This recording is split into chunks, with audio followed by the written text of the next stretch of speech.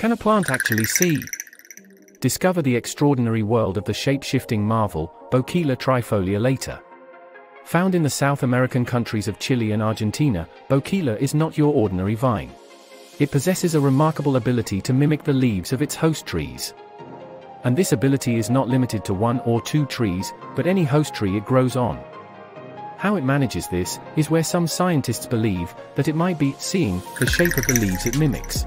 Let's look deeper into this strange shapeshifter, and the different theories that have been proposed to explain why and how Boquila shows this behavior. The why part of the question is easy to answer, mimicking the leaves of the host tree, allows it to hide from leaf herbivores, that might specifically feed on its leaves.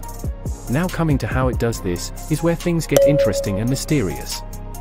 Let's look at the two most popular explanations for this behavior. The first theory is that of horizontal gene transfer.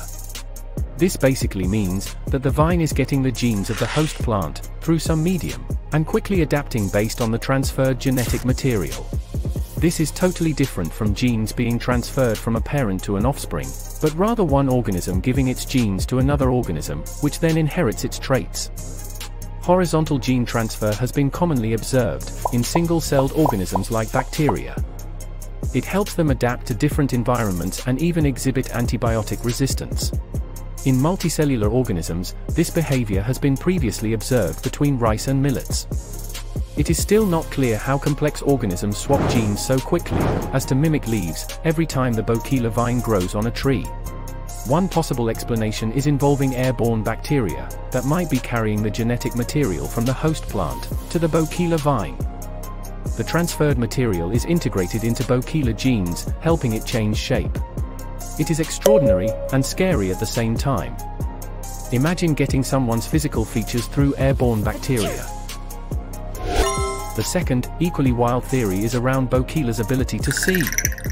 Theories around plants' ability to see have been floating around since 1905, first proposed by Austrian botanist Gottlieb Haberlandt. He suggested that outer layer of cells on leaves can act as a convex lens and send light to photoreceptors underneath. He called these plant ocelli, which means a simple eye. This is what helps plants grow towards light.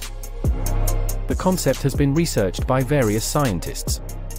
In a recent study on Boquila, scientists replaced the host plant with a plastic plant to rule out any chemical or gene transfer. Boquila vine was able to mimic the leaves of the plastic plant as well. However, some branches were kept under a wooden shelf, away from the direct line of sight. To everyone's surprise, the shape of the leaves on these branches did not change.